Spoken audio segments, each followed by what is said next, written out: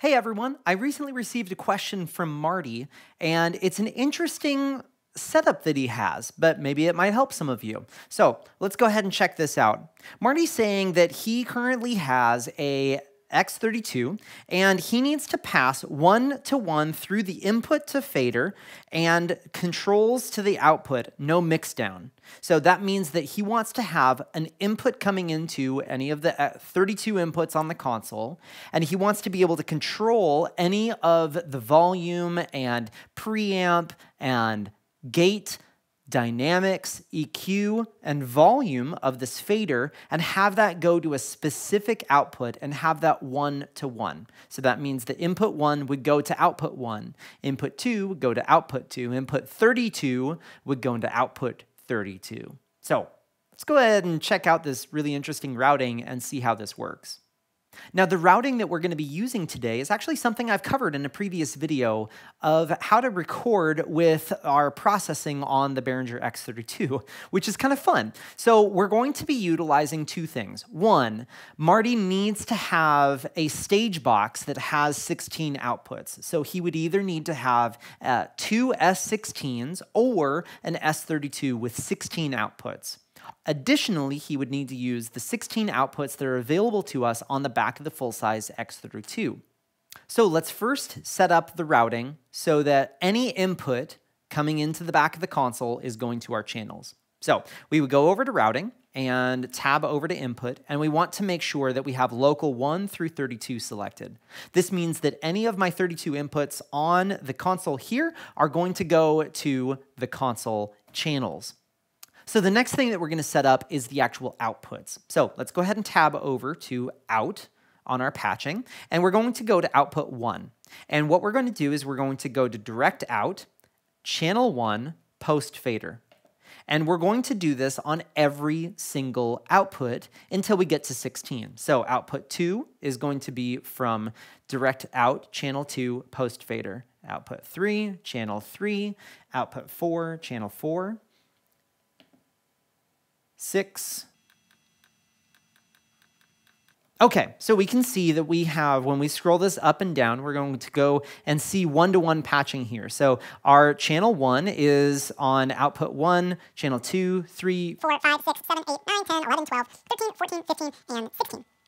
Next, we're going to use the P16, or the Ultranet output of the console, and we're going to route that to our stage box that we have connected on AES50 port A.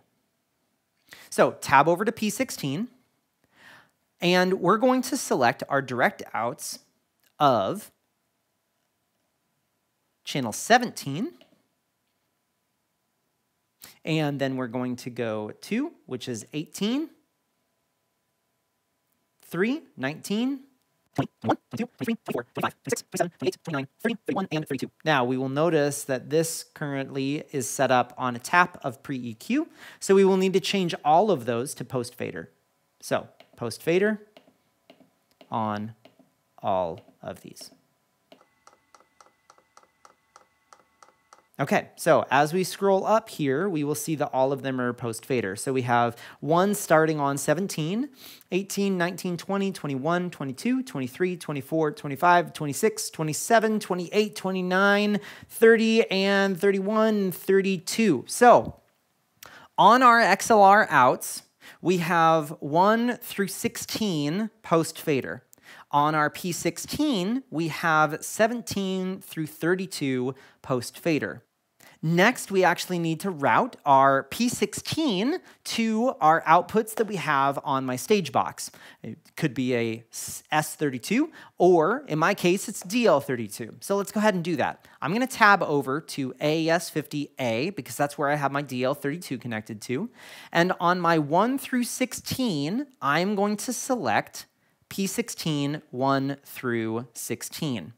Now, this routing has made it so that any input that I turn up and connect into the back of the console is going to have a one-to-one -one input to output. And that means that any processing that I do on this channel is going to end up going on the output of the output that is corresponding to this channel. So channel one, anything that I do to this channel, including gain up and down, muting, compression, EQ, will come out of the output XLR1 on the back of our full-size X32. And so if I turn this down, it will turn it down on the XLR. If we go to 17 through 32, any of these channels will go on the outputs of our DL32 that I have connected to this console, which would be output 1 through 16. So 17 is output 1, 32 is output 16 that is on our DL32. Again, any of the volume, muting, EQ, dynamics, all of that is taken on our things because we have this set up to be on our direct outputs and its post fader. So this is a pretty interesting use case, and I hope that Marty drops a comment down below of what he's doing with this type of setup. But if any of you have a question and you think that I might be able to answer that for you, go ahead and drop a comment below. I'd love to hear the questions that you're struggling through on your setup that you have at your church or venue. So thanks so much for watching.